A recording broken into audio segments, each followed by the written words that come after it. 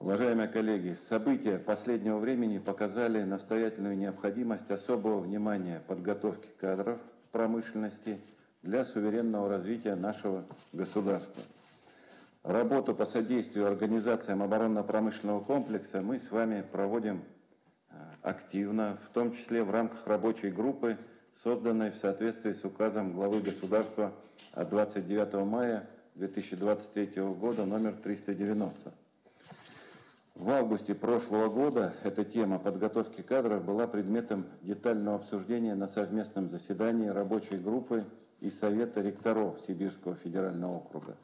Такой достаточно детальный был разговор, где мы с вами болевые точки, э, процессы болевые ну, потрогали руками.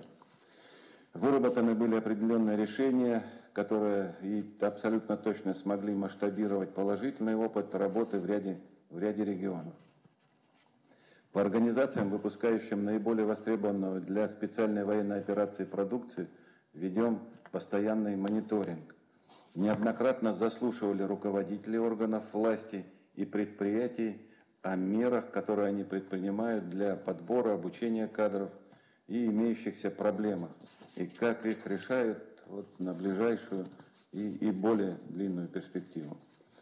С началом текущего года на предприятиях ОПК округа было принято, на предприятии округа было принято около 17 тысяч работников, в том числе выпускников средних профессиональных учебных заведений. А всего, коллеги, вот внимание, цифра, за последние два года было принято 81 тысяча сотрудников.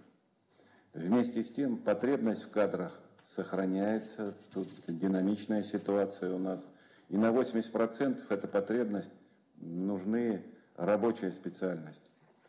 На 1 октября текущего года на предприятиях, внесенных в сводный реестр организации ОПК, в округе это у нас 286 предприятий, заявлено свыше 12 тысяч вакансий.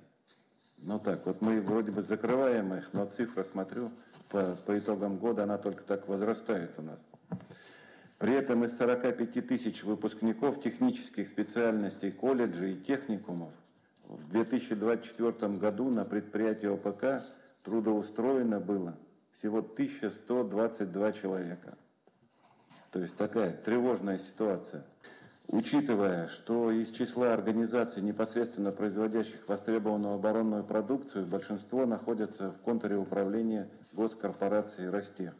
Поэтому сегодня мы предметно обсудим меры по подготовке рабочих кадров для этой категории предприятий.